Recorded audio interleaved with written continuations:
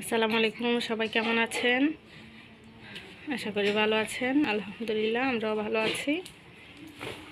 তো এই যে আপনাদের সাথে আজকে শেয়ার করব যে ধনে পাতা কীভাবে সংরক্ষণ করবেন ফ্রিজে পাঁচ ছয় মাস পর্যন্ত রেখে খেতে পারবেন।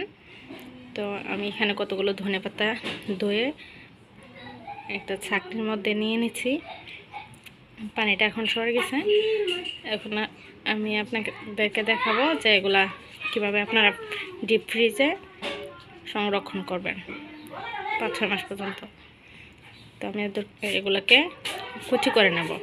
তারপর আপনাদের সাথে ফিরছি। আপনারা ছুরির সাহায্যে বা বটি দিয়ে যে যেভাবে পারেন এগুলোকে কুচি করে নেবেন। এই যে আমি ধনে পাতাগুলো কুচি করে নিছি।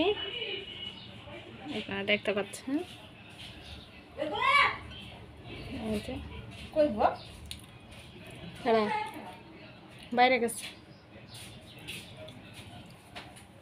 এদিকে তার গান তো দুনিয়া তা। হুম।